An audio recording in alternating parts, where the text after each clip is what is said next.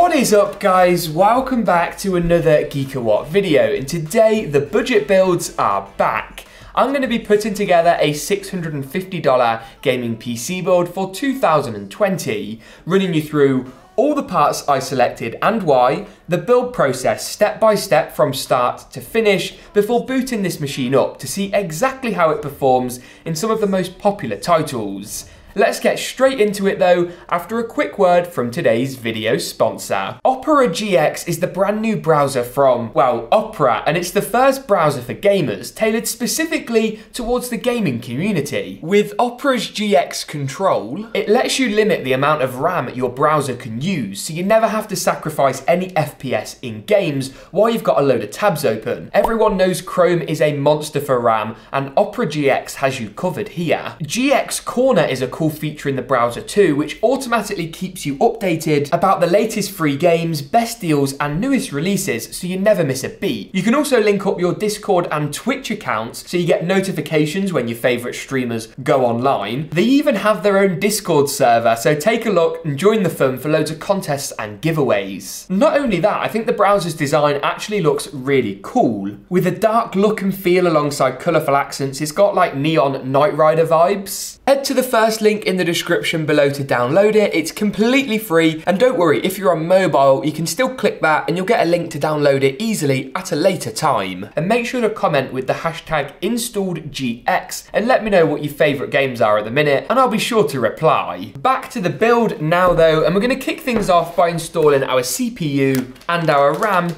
into the motherboard. Specifically, this is the Gigabyte B550M Gaming and it's one of the best value B5 550 boards around right now.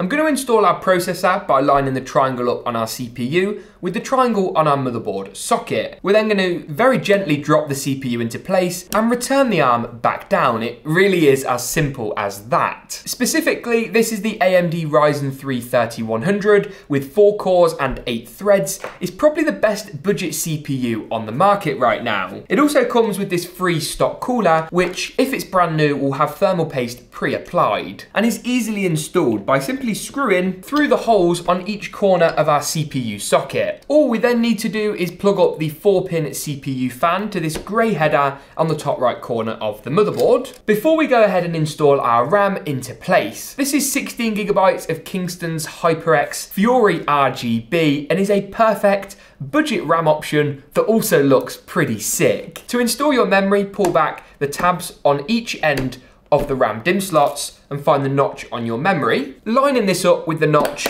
on your RAM DIMM slot and it's super easily is to clip down into place. Next up then, we're going to move our motherboard into our case. And this is one of my favorite all-time, ah, just got shocked.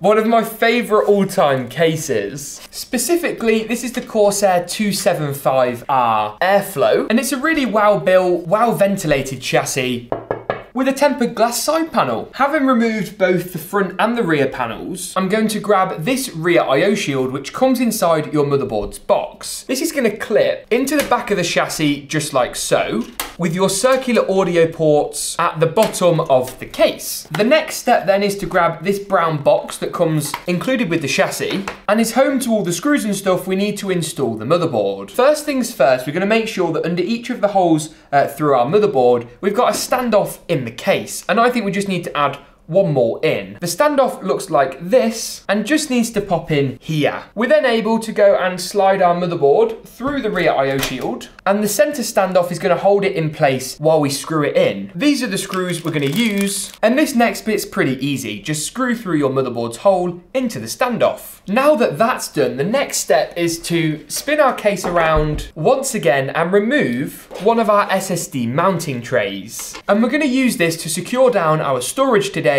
which is Kingston's A400 SSD. It's a more budget-oriented drive, but with 500 gigabytes or one terabyte capacities available. It's gonna be a lot quicker than a hard drive and not really cost you much more money. To do this, we're gonna use these screws that come included with our case, and line the four screw holes on our drive up with the four screw holes on the mount. This mount is then going to slide back through the back of the case and secure down with the thumb screw just like so. Next up then, before we move on to our graphics card, it's time to, to plug some things in. To do that, we first need to install the power supply, and this is a great value 600 watt unit from Aerocool. I think they've rebranded this since, but I'll link everything with the latest availability and pricing in the description below. It's also got fully blacked out cables, which is great for a budget power supply and is gonna look a lot better. We're very simply gonna slide the power supply into the back of the case and use this little bag of screws that comes included in the power supplies box. There we go, lovely stuff. Now we're gonna plug in a couple of our power cables. The first is our fat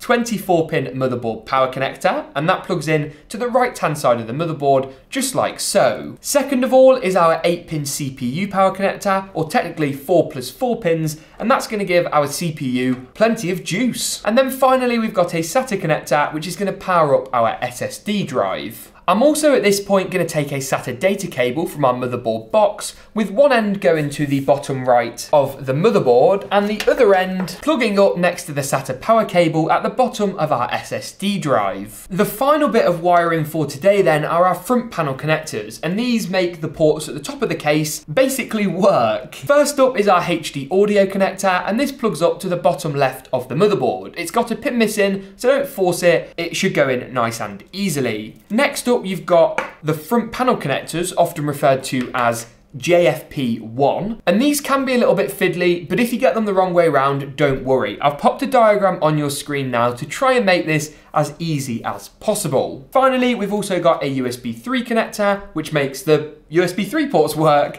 and this can be a little bit delicate, so be careful, but plugs up on the bottom of the motherboard just next to our front panel connectors. Now that that's all sorted, it's finally time to install our graphics card. I know you've all been waiting for this bit, including me to be fair. And this here is MSI's RX 5500 X T. It's one of the best budget GPUs around and it's a 1080p beast. Plus this MSI version is, is really, really nice. It even has like a metal backplate which is sick. To install the graphics card, we need to remove the second and third PCIe slot covers. Before pushing back the clip on the motherboard PCIe slash graphics card slot and sliding the GPU into place, we're then gonna use the same screws we removed our PCIe slot covers with to secure it down. We're then gonna grab a dual 6 plus 2 pin GPU power connector and slot this in to our motherboard. That's super duper simple. All that's really left to do then is whack on our case side panels. I'm also gonna chuck in a couple of RGB fans. You can definitely get some cheaper kits than these and I will link options in the description below. Without any further ado though, roll the montage.